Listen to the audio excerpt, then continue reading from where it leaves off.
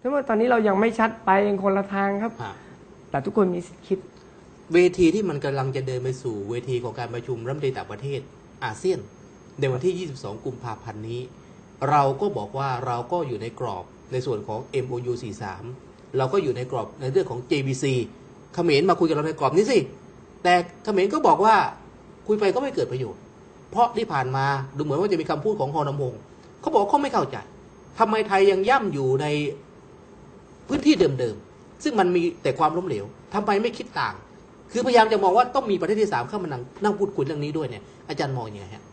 ผมมองผมผมกลับว่าฮอนนำพงศ์ต้องการพยานครับ เพราะว่าฮอนนำพงศ์ผมก็ไม่รู้จักนะฮะบอกอืมท่านผู้ชมไว้ก่อนเดี๋ยวจะหาว่าผมไปสนิทกับท่านอีกครับประเทศไทยเนี่ยถ้าถ้าจะเจรจาเนี่ยยังไงกัมพูชาเนี่ยยังยึดถืออยู่ใน MOU 43 หลายท่านบอกว่า ไม่จริงอะสงครามการประทะเป็นเรื่องบังเอิญ ครับ มันไม่เกี่ยวกับ MOU 43 แล้วถามว่า MOU 43 ดีไหมดีบ้างไม่ดีบ้าง อืม ดีครึ่งหนึ่งไม่ดีครึ่งหนึ่งอะเอาใจทุกฝ่ายเลย อืม แต่จะให้ยกเลิกเลย คุยกับเขมรเขายัง ครับ ถ้าบอกยกเลิกเลยแล้วเขมรก็จะทำกับเราต่อไหม ครับ ถ้าเขาไม่ทำทำยังไงดี อืมเอาอย่างนี้ดีกว่า เจรจาอืมวันที่ 22 ใช่ไหมครับครับที่จะมีการประชุมรัฐมนที่ตอินโดรีนีทางเซียประเทศ ครับ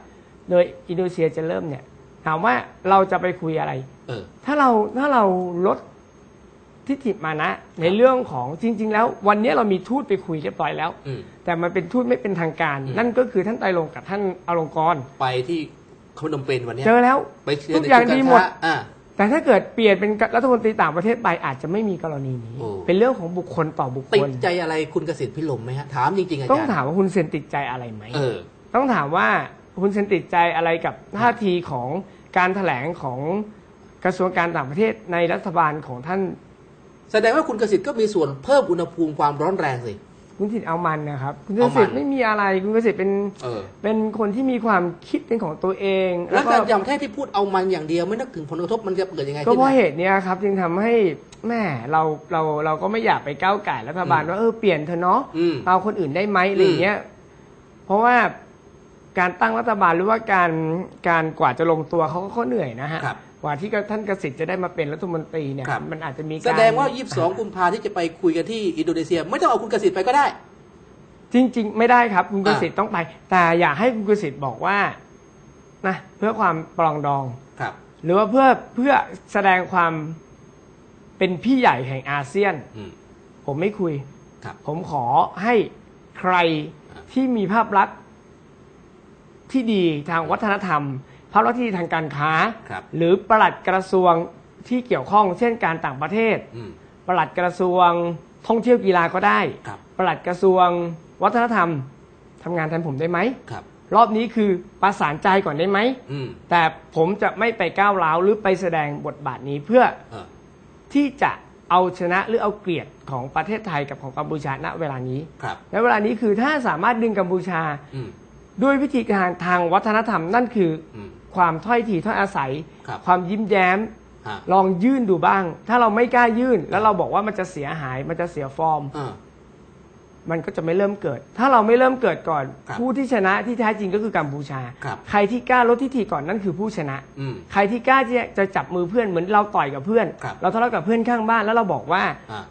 เจ็บปวดทั้งคู่ แต่เมื่อหันหน้ากลับไปมองเขาแล้วคิดถึงสิ่งดีอืม ๆ คิดถึงความรักคิดถึงสิ่งที่มันจะเกิดขึ้นต่อไปในอนาคตแล้วเราบอกว่าเฮ้ยเพื่อนเราขอโทษ ครับ เท่านั้นแหละสิ่งที่มันจะพรังพรูกลับมามันจะมหาศาลกว่า ครับ อาจารย์พูดตรงนี้น่าคิด เพราะว่าตราบใดถ้าเรามีรัฐมนตรีต่างประเทศที่ชื่อเกษตรพิลมอยู่ ภาพตัวนี้ผมคิดว่ามันเกิดยาก คือต้องให้เกียรติท่านนะครับ อันนี้อืมผมต้องยืนยันว่าในในรัฐบาลประชาธิเอ่อรัฐบาลนี้คือคืออมการตั้งมาเนี่ยมันก็มีอะไรซับซ้อนซ่อนเงื่อนอยู่ แต่ว่าท่านเนี่ยอ่าไม่ใช่ว่าไม่เหมาะสม อืมแต่แค่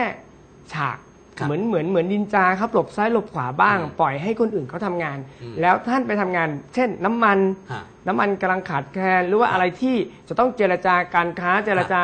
ความเมืองครับ อื่นอืมๆดีกว่า ดีกว่าที่จะเป็นตัวแทนแล้วแสดงแต่ฮะ ความรู้สึกออกไปในขณะเดียวกันแต่ในมุมกลับกันเนี่ยถ้าเราติดตามข่าวเนี่ยหลังการประชุมคณะมนตรีความมั่นคงปั๊บเนี่ย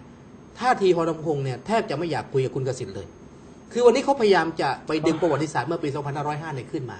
พยายามจะดึงเกมไปสู่เวทีระดับสากลระดับอ่านานาชาติเกิดขึ้น อยากให้สารโลกลงมามองตรงนี้ไงฮะคือผมว่าเราวิเคราะห์กันไปเองนะครับครับ คือเขมรเนี่ยกับ 2505 เนี่ยมันเป็นความยิ่งใหญ่ของเขาครับเขาสามารถเอาชนะชนชาติที่ยิ่งใหญ่อย่างประเทศไทยของเราได้อืมทำความความเจ็บปวด หลายคนต้องอ่านนะครับว่าเวลานั้นเนี่ยต้อง เราอ่านมั่ประวัติใจศาสตร์มาเขากด้วยเรามั่นใจมากว่าเขาพระวิหารต้องเป็นของไทยครับแต่เมื่อมีความพ่ายแพ้ เราก็มีเกียรติพอบนบนผืนปัตภีของโลกอืมท่านเสด็จเขียนจดหมายห้าหน้าครับอธิบายระบายความในใจ พร้อมกับมอบคืนทั้งท่านที่ท่านเป็นรัฐบาลทหารครับหลังจากวันนั้นมาเราเราไม่มีความขัดแย้งหรือจะมีบ้างในกรณีที่เขมรเคารพกันเองอืมเราก็ป้องกันกันไป แต่เมื่อมาถึงวันนี้นะฮะทุกคนกลับ กลับกลับพยายามไปเอาอดีตที่เราเจ็บปวดกลับมากัมพูชาก็ยืนอยู่แล้วก็เรื่องของเขาเพราะยังไงยังไงไอ้ตรงนั้นมันก็ปลูกข้าวไม่ได้ ครับที่ดินตรงนั้นมันก็มันเป็นศักดิ์ศรีของชาติก็จริง อืม พื้นที่กี่กิโลเมตรที่เราอุปประมาขึ้นมาว่ามันจะมีหรือมันไม่มี แต่สิ่งที่สำคัญก็คือฮอนงฮงเอากลับไปที่ศาลโลกเมื่อไหร่ ครับ คดีมันสิ้นสุดไปแล้วอะครับ ครับ เมื่อถ้าบอกไทยบอกไทยไม่ขึ้น ก็ศาลโลกก็ทำงานไม่ได้ เพราะการขึ้นศาลโลกจะต้องขึ้นทั้งสองฝ่าย อืมยินยอมโดยรัฐทั้งสองฝ่ายครับเพราะไทยจะเอาขึ้นเขมรบอกไม่ขึ้นก็ขึ้นไม่ได้ อืมแต่ไม่แปลกใจเลยครับณเวลานั้นทำไม 250 2502 ตอนที่ฟ้องทำไมไทยกล้าขึ้น ครับเพราะเรามั่นใจว่าเราชนะ อืมเมื่อเมื่อเมื่อเมื่อมันได้เสียเปรียบไปแล้วเนี่ยอย่าให้เสียเปรียบซ้ำครับเพราะฉะนั้นเขาจะเอาขึ้นศาลโลก 250นะก็เรื่องของเขาเราไม่ขึ้น อืม เราไม่ขึ้นด้วย แล้วเราก็เจรจาทวิภาคี ใช้วัฒนธรรม ครับ ใช้ความเป็นบ้านพี่เมืองน้อน กัดฟันบ้างว่าเราโดนต่อยมาปากเจ็บเลื่อนไหล แต่บางครั้งเช็ดเลือดแล้วเดินกลับไปหาเพื่อนคนเดิม ครับ บอกว่าทีหลังจะต่อยอีกมึงต่อยอีกครับ ก็จะต่อยกลับอีก อืม ไม่กลัว แต่วันนี้เราอยู่ด้วยกันได้ไหม อืม นี่คือสิ่งที่ควรทำ ครับ เท่าที่อาจารย์วรนัยได้ติดตามมาเนี่ยครับวันนี้ก็มีการถามถึงมิตรในระดับเวทีสากล เพราะวันนี้ดูเหมือนกัมพูชาจะเอาปัญหาข้อพิพาทที่มันเกิดขึ้นที่ปราสาทพระวิหารก็ดี การสู้รบตามแนวชายแดนในขณะนี้ก็ดี ไปดึงเอาประเทศที่สามเข้ามาเกี่ยวข้องให้ได้ ขณะที่เราบอกว่าเราต้องคุยเฉพาะในระดับทวิภาคีเพียงอย่างเดียวเท่านั้น จุดนี้เขาชนะเราไหมเราบอกกันเองครับ ว่าเราจะคุยทวิภาคีเขมรอืมก็ไม่ได้บอกเราด้วยอืมเขมรเราบอกเขาฝ่ายเดียวเขาก็คุยกับในในสื่อของเขาว่าเขาจะทวิภาคีอ่าแต่พอเกิดเรื่องปุ๊บอะฟ้องศาลโลกไว้ก่อนไอ้ยฟ้อง UN ไว้ก่อนอ่าการฟ้อง UN ไม่ใช่เรื่อง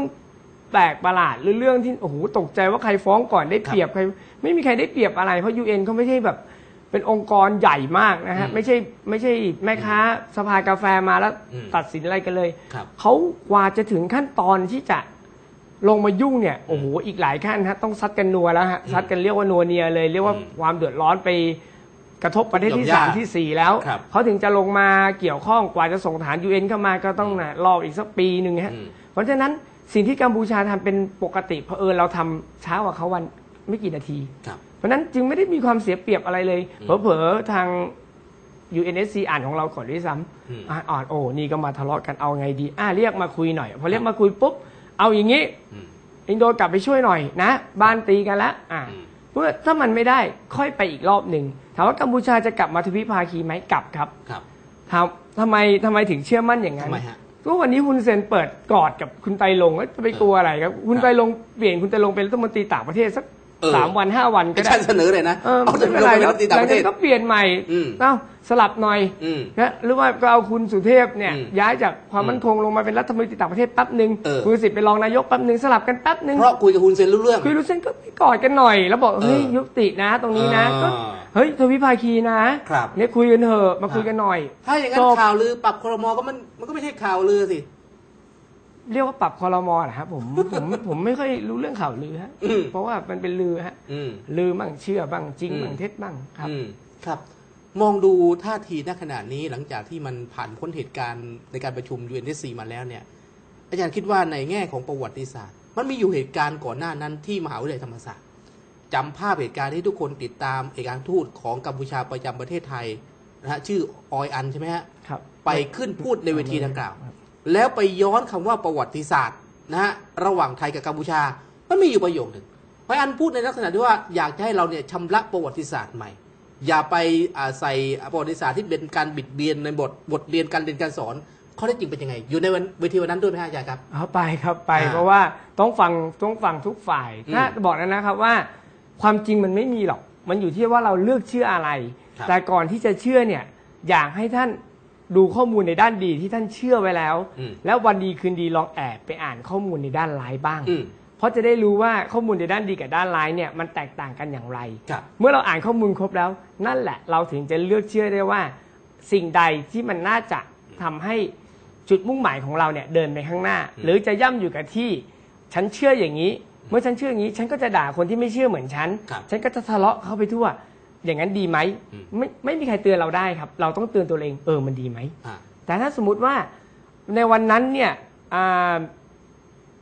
ทูตผมยังตกใจเป็นทูตผู้หญิง ตอนเล่นโอ้อ่าผู้ทูตชายผู้หญิงพอเดินขึ้นมาปุ๊บใส่แว่นเราก็โอ้โหยายเพิงที่ไหนแม่เอาบอกเป็นทูตเขมรทูตเขมรอืมอ่าลองฟังดูซิอยากรู้ว่าเขาคิดยังไงเพิ่งอืม ยิงกันตายอยู่หยกอืมๆ ประโยคแรกที่เขาบอกว่าจังหวัดของกัมพูชาเนี่ยเคยมีอยู่ 54 จังหวัดตามยอดปราสาทบายนปราสาทไพเชียนและปราสาทบายนที่สร้างในสมัยพระเจ้าชัยวรมันที่ 7 นั่นหมายถึงวิสัยนครหรือจังหวัดในตามจารึกปราสาทในเขมรที่บอกว่าอาณาจักรกัมพูชาเทศนะกัมพูเทศเนี่ยเคยมีจังหวัดอยู่ขนาดนี้ 13 จังหวัดในดินแดนของกัมพูเทศเนี่ยในยุคพระเจ้าชัยวันที่ 7 ได้เสียให้กับไทย